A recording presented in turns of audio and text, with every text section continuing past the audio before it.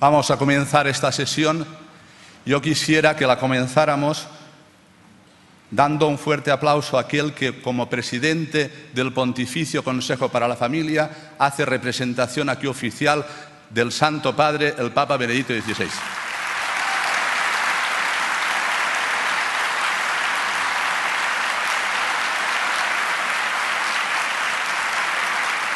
Muchísimas gracias.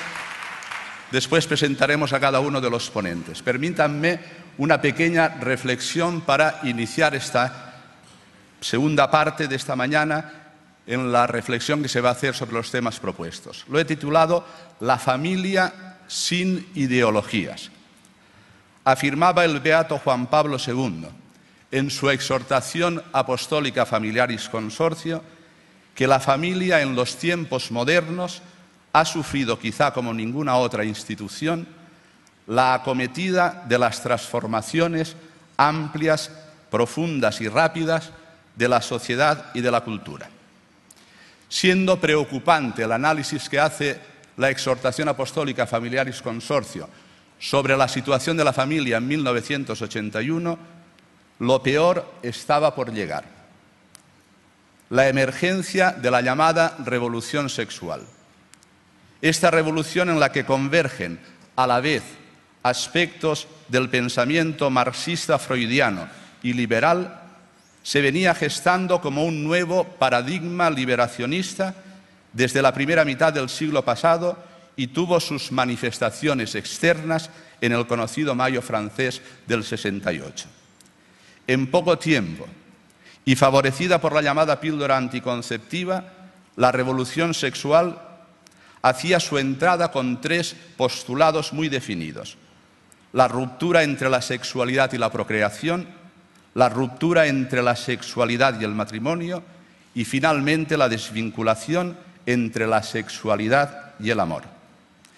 Esta cultura de la separación tiene sus fundamentos en el dualismo antropológico, en la autonomía moral afirmada desde el individualismo y el relativismo, de donde deriva un concepto perverso de libertad que no se fundamenta en la verdad de la persona y del matrimonio. Como escenario de fondo, estos postulados nacen del secularismo y de la negación de Dios. Después de aquella primera entrada de la revolución sexual, hoy los ataques a la familia vienen propuestos por la llamada ideología de género y por las nuevas teorías queer y cyborg. Estas atentan directamente sobre la naturaleza de la persona, negando el sustrato antropológico que sustenta tanto al matrimonio como a la familia. Los pasos que sigue esta segunda entrada de la llamada revolución sexual están también perfectamente definidos.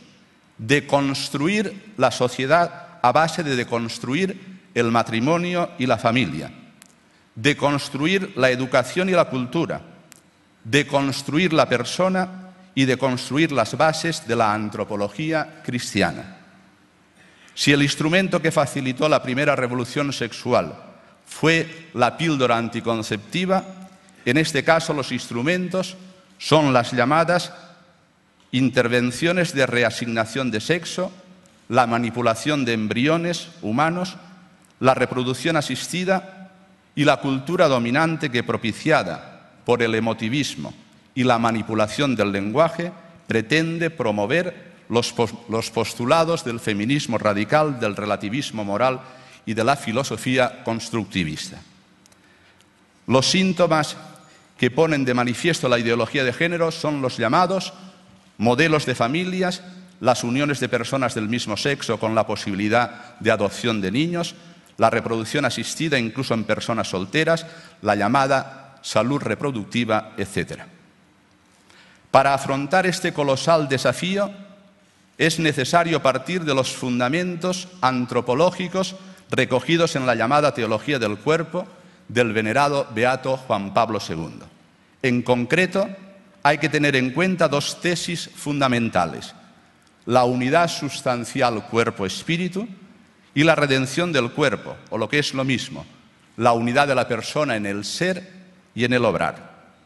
Con estas dos tesis se puede responder al dualismo antropológico y a la reducción del amor a la simple emoción o sentimiento, incapaces de construir una historia amorosa perdurable en el tiempo. De la mano del Beato Juan Pablo II afirmamos que el cuerpo no es una simple prótesis del yo, ni material biológico a merced de la libertad de la persona. El cuerpo es la visibilización de la persona como un sacramento de la persona.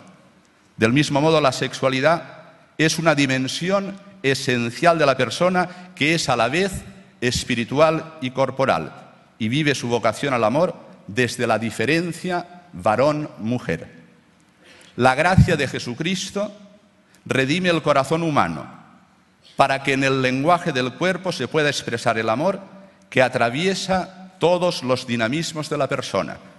La virtud de la castidad posibilita integrar en el acto libre del amor conyugal los dinamismos físico-biológicos, los psíquicos y los espirituales.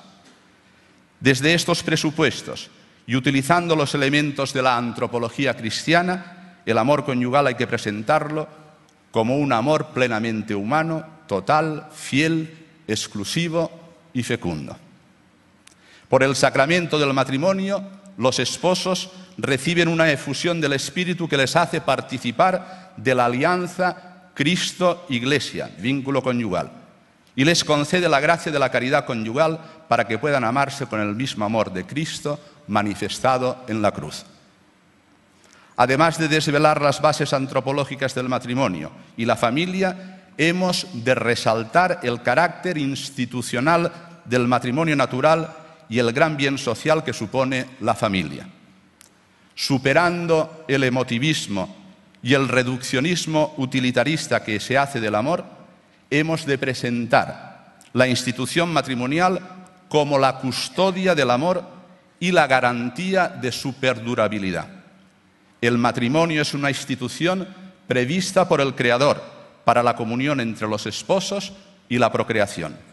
Ambas dimensiones son elementos esenciales para el bien común que las leyes deben proteger.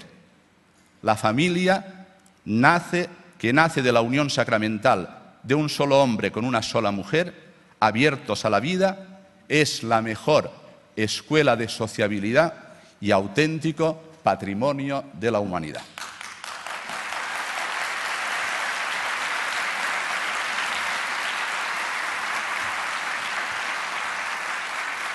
A continuación, cedemos la palabra al cardenal Ennio Antonelli. Su interés, su interés por la pastoral de la familia y de la vida ha sido manifiesto a lo largo de toda su vida como sacerdote, como obispo y ahora como presidente del Pontificio Instituto, del Pontificio Consejo para la Familia. Se pueden recordar aquí algunas de sus cartas pastorales en Florencia con motivo de la Pascua, en las que con decisión, competencia y pasión afronta los temas más candentes de la posmodernidad. La televisión en la familia, cristianos en la sociedad pluralista, familia y sociedad, el amor cristiano en la familia y un largo etcétera. En esta última etapa, el cardenal preside el Pontificio Consejo para la Familia.